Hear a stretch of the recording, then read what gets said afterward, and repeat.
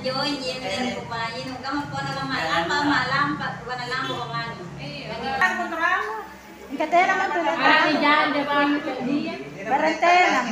Puluhan warga ini terpaksa menjalani perawatan intensif di sejumlah ruangan di Puskesmas Bontomaranu, Kabupaten Takalar, Sulawesi Selatan, usai diduga keracunan makanan di salah satu pesta pernikahan.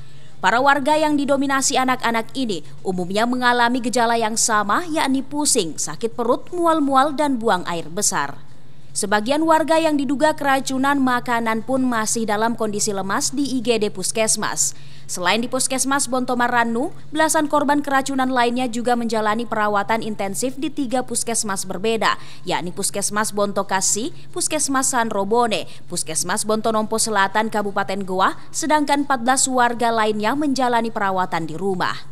Hingga Selasa pagi, tercatat sebanyak 41 orang warga yang mengalami gejala keracunan ringan hingga berat. Aparat Polsek Galesong Selatan pun kini telah menyita seluruh sampel makanan berupa nasi putih, daging ayam, mie goreng, acar, dan sayur sop untuk diteliti di laboratorium di Makassar. Menurut warga, anaknya tiba-tiba mengalami sakit perut, muntah, dan pusing usai mengonsumsi nasi putih, daging ayam, dan es buah di lokasi acara pesta pernikahan warga. Eh, ini apa dia makan anak sampai keracunan?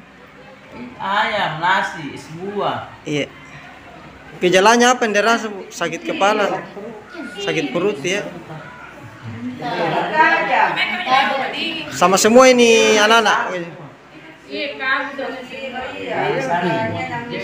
Hingga kini puluhan pasien yang mengalami gejala berat masih menjalani perawatan intensif di empat puskesmas di Takalar dan Kabupaten Goa. Polisi pun telah memanggil dan meminta keterangan pelaksana acara pesta pernikahan.